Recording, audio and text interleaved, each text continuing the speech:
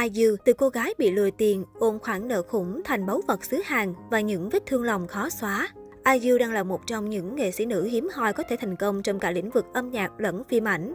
Sau nhiều năm nỗ lực, đó hoa nhỏ đã có được vị trí quyền lực trong làng giải trí, đến mức concert bình thường thôi cũng thu hút cả dàn sao khủng như Song Hye Kyo, Kim Soo Hyun, Lee Jun Ki, Suho Esso. IU tên thật là Lee Jeon ra đời vào ngày 16 tháng 5 năm 1993 tại Somjeongdong, Seoul. Cô nàng đã trải qua một tuổi thơ đầy bất hạnh. Lúc còn nhỏ, gia đình cô gặp khó khăn tài chính nghiêm trọng, khiến nữ ca sĩ phải cùng em trai chuyển tới sống cùng người bà trong căn phòng đầy gián. Thời gian sau đó, họ chuyển tới sống nhờ tại nhà một người bà con. Người họ hàng này nhiều lần chữa rủa IU thậm tệ, tuyên bố cô không bao giờ có thể trở thành ca sĩ. Cứ mỗi lần như vậy, IU chỉ biết giả vờ ngủ để phớt lờ người đó. IU xem đó là động lực để cô ngày đêm khổ luyện thực hiện ước mơ trở thành ca sĩ, con đường mà người đẹp chọn trải đầy trong gai. Trên con đường thực hiện ước mơ, IU đã rơi vào tầm ngắm của một số công ty giải trí mà. Tôi từng bị lừa rất nhiều lần, họ yêu cầu tôi phải nộp đủ thứ tiền khác nhau, thậm chí có lúc số tiền đó lên đến 3 triệu won, 60 triệu đồng. Nếu tôi không đáp ứng được, họ sẽ lập tức hạn chế cơ hội của tôi và khiến cho tôi rơi vào tình trạng khủng hoảng vì không có việc làm. Sau khoảng 3 lần bị lừa như thế tôi mới nhận ra sự thật. Quả thực, tôi đã mất rất nhiều tiền cho những kẻ xấu đó. Trải qua những thất bại đầu đời, cô tham gia hàng loạt buổi tuyển chọn thực tập sinh của các công ty lớn nhỏ. Dù liên tục bị từ chối, song IU vẫn không nản chí. Sự cố gắng cùng những nỗ lực không ngừng nghỉ của cô cuối cùng cũng đã được đền đáp.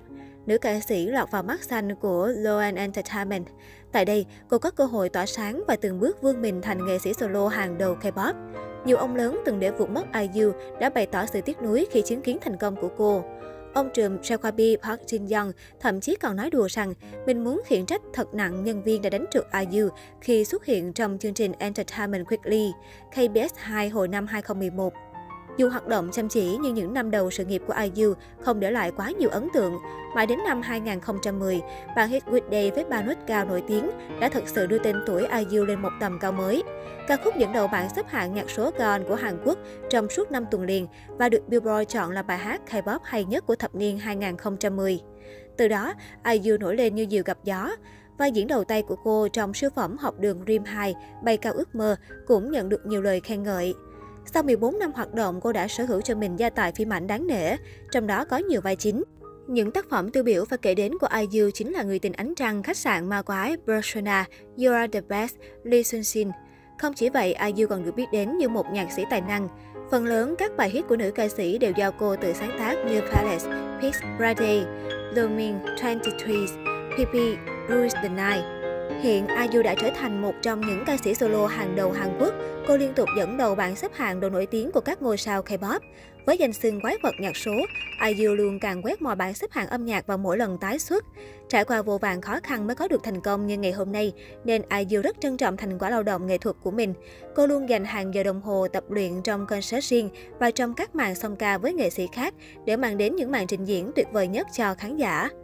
Lee Jin Ki trở nên thân thiết với IU sau khi hai nghệ sĩ có dịp hợp tác trong Moon Lover. Nam tài tử hàng A từng tham gia concert của nữ ca sĩ và chứng kiến những cống hiến hết mình của cô cho nghệ thuật.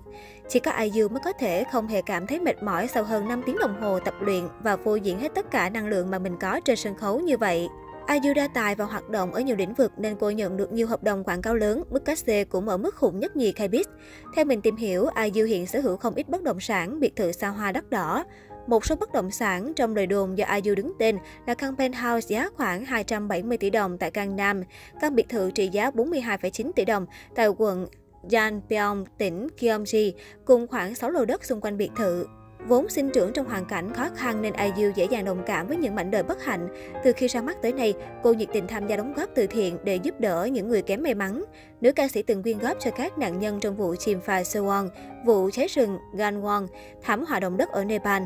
Chương trình Session TV NBC từng tuyên dương những ngôi sao chăm tích cực đóng góp từ thiện và IU chính là nữ ca sĩ chăm chỉ làm từ thiện nhất tính đến thời điểm hiện tại.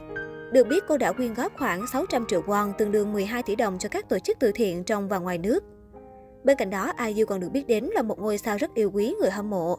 Fan là động lực để IU tiếp tục chinh phục các đỉnh cao mới trong sự nghiệp và là những người góp phần mang đến thành công cho nữ ca sĩ, nên cô vô cùng trân trọng họ. Thay vì bắt tay người hâm mộ khác giới như nhiều thần tượng vẫn hay làm, IU lại thường trao cho họ những cái ôm ấm áp để thể hiện tình cảm của mình. Theo kịch bản của chương trình Gorilla Days, IU sẽ bắt tay fan nam nhưng cô lại chủ động ôm họ khiến những fan nam này vỡ òa trong niềm hạnh phúc. Dù thành công trong sự nghiệp, nhưng ai yêu mến và theo dõi IU đều biết nữ nghệ sĩ tài năng mang vết thương quá khứ và mất đi hai người bạn thân.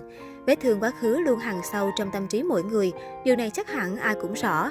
Dù là ca sĩ thần tượng của hàng triệu người, nhưng IU cũng có tâm hồn cảm xúc và mang những vết thương lòng. Thời điểm này có lẽ là khó khăn nhất đối với cô gái Lee Jian 26 tuổi, bởi hai người bạn thân thiết, Sully và Kuhara đều đã đi đến quyết định đau thương nhất, đó chính là tự tử. Trải qua cùng hoàn cảnh, thậm chí quá khứ còn đau khổ hơn và thường xuyên tâm sự với nhau mọi điều với tư cách bạn thân tri kỷ. IU có lẽ là người hiểu rõ nhất hai người bạn quá cố nghĩ gì. Trong đêm concert vào ngày Guhara qua đời, IU vẫn bình tĩnh, không phải nói là bình lặng. Cô thể hiện ca khúc Love Poem cùng lời gửi gắm. Mình tin từng ca từ trong ca khúc này sẽ có tác dụng trong thời điểm hiện tại. Mình thực sự lo lắng cho các bạn.